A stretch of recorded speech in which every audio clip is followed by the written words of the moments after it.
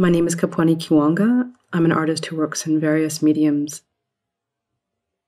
I came to art after having studied the social sciences, uh, particularly anthropology and comparative religion. I then worked as a documentary filmmaker. But I found that art was the language that allowed me to share my ideas in complex and multi layered ways.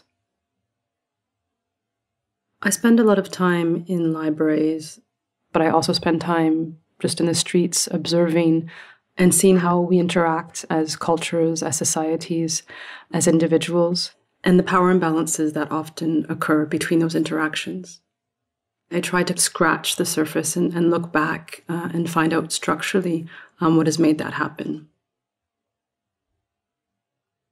So, one of the projects I worked on was around disciplinary architecture, historically, but also currently.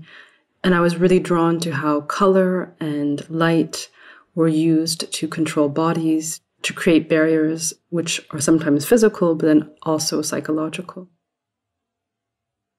when I choose a material to work with, it's never simply because I find it formally interesting. It's always because there's a social, political, economic interest or history behind that material.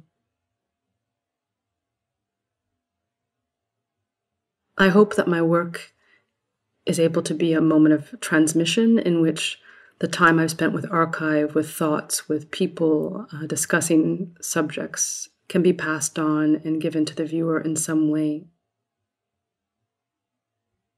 I've been thinking about my work recently as exit strategies, moments where the visitor can look differently or untangle themselves from structures of learning that create unequal relationships, but also moments which allow one to think about the future in a different way.